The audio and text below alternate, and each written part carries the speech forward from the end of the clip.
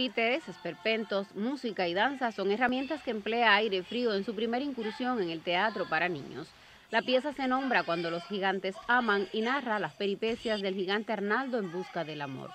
La historia transcurre en una típica aldea austriaca donde vive el protagonista de la obra, quien se encuentra muy triste pues piensa que es el último de su especie. Llega entonces un narrador de cuentos y le comenta sobre una hermosa giganta que vive en Hawái. Y Arnoldo se aventura en un viaje alrededor del mundo para encontrarla, enfrentándose a todo tipo de obstáculos y aventuras. Luces, atresos y escenografía junto a una depurada actuación permiten establecer rápida empatía con el joven elenco de la agrupación, quienes, dirigidos en esta apuesta por Juniel Hernández, llegan al territorio suroriental de Granma por vez primera gracias a la gira que auspicia el Consejo Nacional de las Artes Escénicas.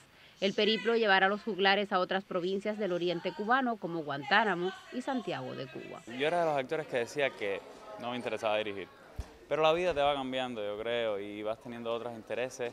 Y creo que fue una crisis, una crisis de los 30, la llamada crisis de los 30. Y necesitaba hacer algo. Y una de las actrices ahora eh, me dijo que, que sí dirigía. Empecé el proyecto, lo soñé, se lo propuso Eduardo, Eduardo Emil, director general del grupo y maestro, y yo creo que de todos. Y, y la aceptó.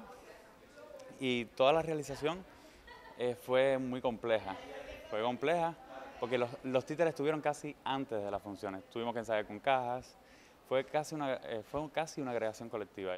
Cuando los gigantes aman, abre las puertas de aire frío a la magia y el encanto del teatro para niños. De ahí que ya piensen en una nueva propuesta para los pequeños. Eduardo me ha, propuesto eh, hacer una codirección de una obra para niños, otra obra para niños. Parece que el grupo abrió esa vertiente del teatro para niños, porque de verdad que nos ha traído muchas cosas lindas y es otra apuesta, pero bueno, no voy a adelantar.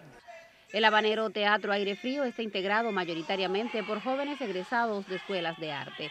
Su línea ideoestética los vincula con el teatro de sala y el teatro de relaciones, aunque han declarado a la prensa que también les motivan mucho otras vertientes como el teatro musical, la comedia y el teatro para niños.